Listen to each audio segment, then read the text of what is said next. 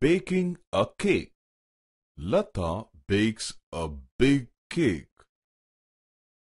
But why doesn't she offer it to her friends? Let us know it. Mahesh, Suraj, Kumar and Damodar are in Ambika's house. Ambika's parents are not at home. Her sister Lata is hungry. She is going into the kitchen.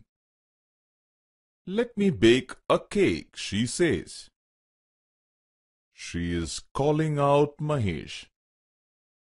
Lata, I am baking a cake. Come and help me.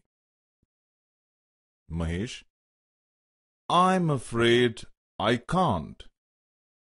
I'm reading a storybook.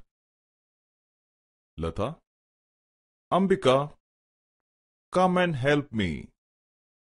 Ambika, sorry, I can't. I'm sending an email. Lata, Kumar, will you please help me? Kumar, yawning. Sorry, Lata. I'm busy. I'm working on my project. Lata, Damodar, could you help me? Damodar, I'm sorry, I can't help you. I'm putting my photographs into my album.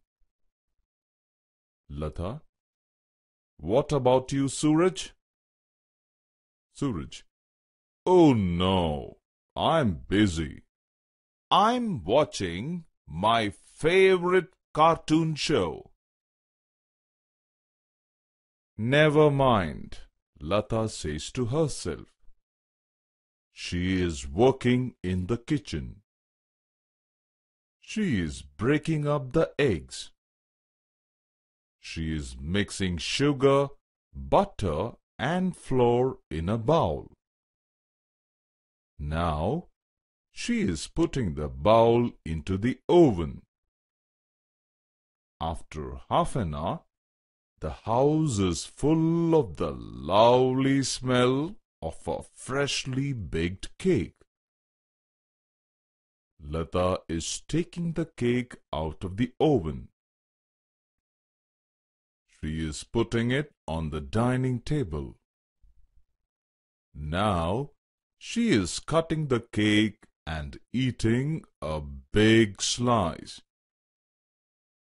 The other children are looking at the cake. Suraj, it smells delicious. Please share with us some. Lata, the cake is delicious, but you better not to have it. All of you are busy, it seems. The children hang their heads in shame. They are saying, We are sorry. We promise you to be good. Mahesh, I will make squash for all of us. Suraj, I will lay the table.